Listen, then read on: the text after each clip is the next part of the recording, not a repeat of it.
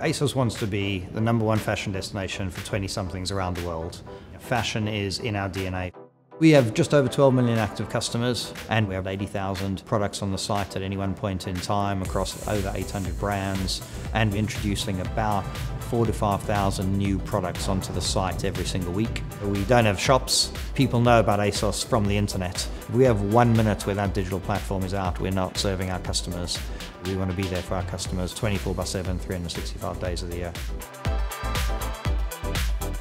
Over the last couple of years, we've embarked on quite a significant program of essentially rewriting our entire digital platform. And the reason we did that was scale, to change quickly and innovate for our customers, and to give a globally consistent service.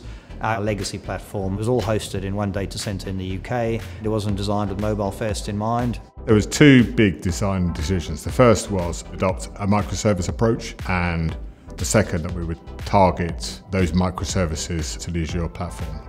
Our microservices are product, bag, checkout, order processing, payment, the things that underpin the shopping journey.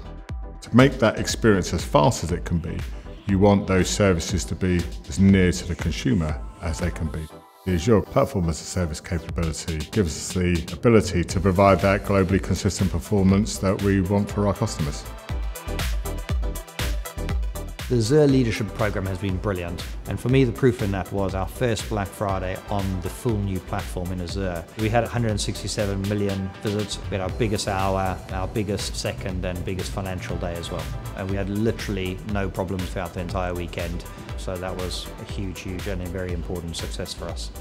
The amount of critical technical resources Microsoft made available for us leading up to that event and on that event was absolutely phenomenal.